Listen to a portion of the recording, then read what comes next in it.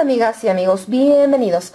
En este especial de los, las herramientas mágicas vamos a hablar de los papeles y de los pergaminos.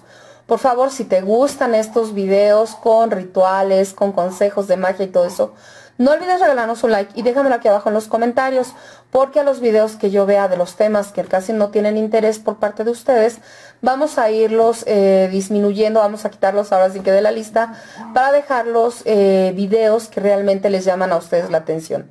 Bueno, vamos de lleno a nuestro tema. Los papeles y pergaminos eh, nos sirven mucho en muchas maneras y en muchos decretos.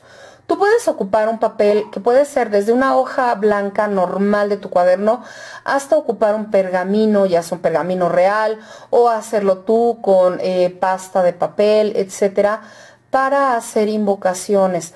Ya sea que sean decretos que tú escribes haciendo un ritual con una veladora blanca, pidiéndole a Dios que logres estos objetivos que te vas a poner, no sé, ir al gimnasio, acabar la escuela, aprender inglés, que si me den el ascenso en el trabajo, obviamente en base a que yo siempre sea muy puntual, muy diligente, muy buen trabajador, etcétera.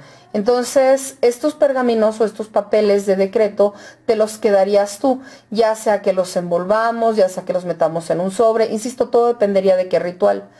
Pero también se pueden hacer estos para quemarse y estas ya son directamente cartas o invocaciones a los ángeles y obviamente a Dios mismo.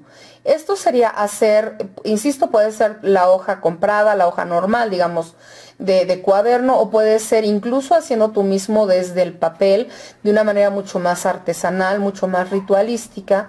Y entonces lo que le vayas a escribir en este papel, en este pergamino, va a ser una carta dirigida directamente a Dios.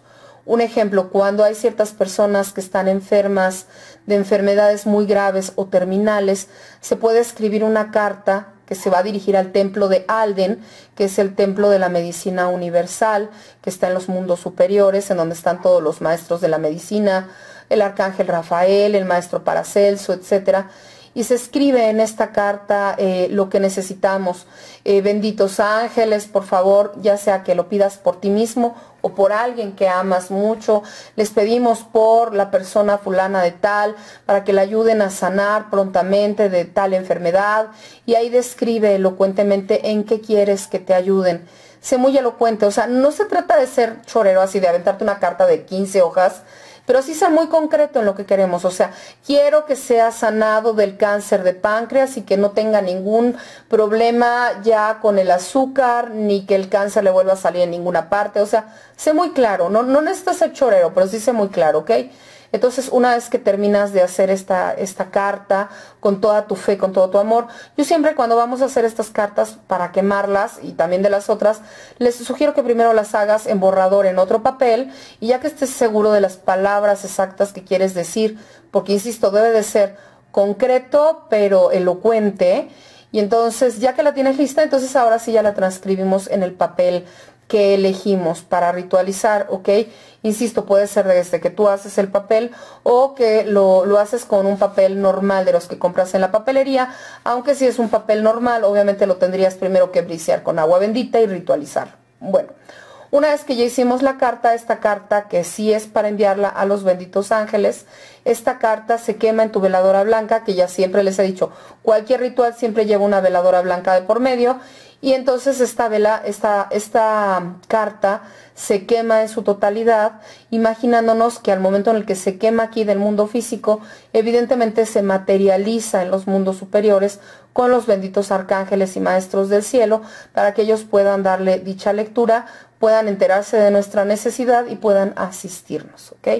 Entonces, también con estos papeles se pueden hacer cartas que tú le quieras enviar a alguien y armonizarlo para decretarle buena salud, armonía. Por ejemplo, estas cartas de se hacen mucho para Año Nuevo, ya sea el Año Nuevo Occidental o el Año Nuevo Chino, que también son muy buenas para decretarle y desearle a la gente buena salud, etcétera. Y para eso, por ejemplo, en la cultura china se ocupan estos pergaminos con estos kanjis o con estos símbolos que pueden ser del amor, de la doble felicidad de la abundancia, etcétera. La verdad, el papel y los pergaminos son algo también sumamente necesario, sumamente especial para nuestros rituales. Bueno, si quieres que les siga hablando de todas estas herramientas mágicas, etcétera, por favor no dejes de dejármelo aquí abajo en los comentarios. No olvides suscribirte. Si este video te gustó, por favor no olvides regalarnos un like. Y no dejes de activar la campanita de notificaciones para que YouTube te avise cuando subimos un video nuevo. Un enorme beso, linda tarde, bye. Si te gustaría tener una taroterapia conmigo, por favor ponte en contacto. ¿Qué es una taroterapia? En una taroterapia te leemos el tarot de Marsella y el tarot de Los Ángeles para descubrir, como si te hiciéramos un diagnóstico médico, por qué tienes los problemas que tienes, ya sea de enfermedad, de trabajo, de salud, de lo que quiera que sea que estés padeciendo. Una vez teniendo ahora sí que este diagnóstico, te damos todos los rituales y armonizaciones de magia blanca para que tú los realices en casa, ya sea con velas, con baños, diferentes limpias, todo de una manera muy sencilla y muy económica, no te preocupes, para que puedas arreglar tu situación. El costo de la taroterapia es de solamente 30 dólares si vives eh, fuera de México. Si estás aquí en México sería solamente de 300 pesos. Las formas en las que podemos tener la taroterapia puede ser por Skype, por Facebook, eh, en videoconferencia, puede ser por teléfono o puede ser en persona. Entonces, en serio, si te puedo ayudar en algo, si necesitas un consejo, si necesitas saber por qué estás viviendo X circunstancia que te tiene preocupado, por favor, ponte en contacto conmigo y con gusto te atenderé. Bueno, les dejo aquí abajo en la caja de información eh, mi correo electrónico, se llama igual que el canal, cabaguna hotmail.com. A este correo tú me puedes escribir y con todo gusto te ayudaremos con una taroterapia. Aprovecha que está súper económico precisamente para poder llegar a todos los bolsillos. Les mando un enorme beso. Linda tarde. Bye.